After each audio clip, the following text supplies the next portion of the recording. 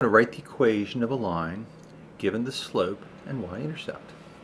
We will again use the slope-intercept equation y equals mx plus y equals mx plus b when given those two pieces of information. If we're given a graph, then we must first find both the slope and the y-intercept.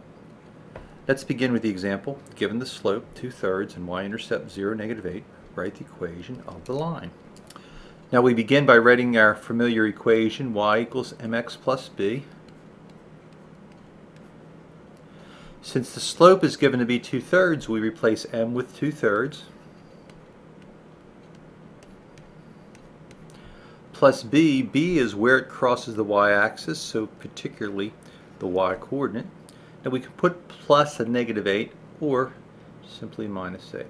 So the equation y equals 2 thirds x minus 8 will be the equation of the line with slope 2 thirds and y-intercept 0, negative 8.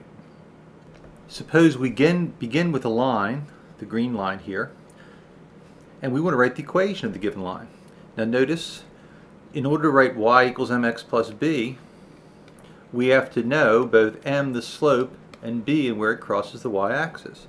I think we can look carefully here. It looks like it crosses the y-axis at 0, 2. So the value of b will be 2. That's pretty easy. How about slope? Remember that the slope is the change in y. The symbol delta stands for change, divided by the change in x. What we need to do is pick two points. Why don't we select this other point down here that has coordinates 2, 0. And the way we find the change in y is we take y2 minus y1 over x2 minus x1. Now let's call this point x1, y1. Let's call this point x2, y2. So we take the second y minus the first y divided by the second x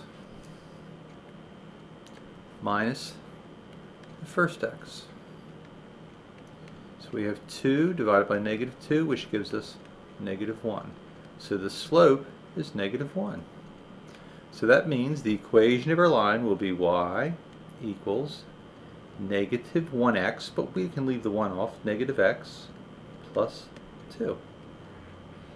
And this is the equation of the line that passes through 0, 2 and 2, 0.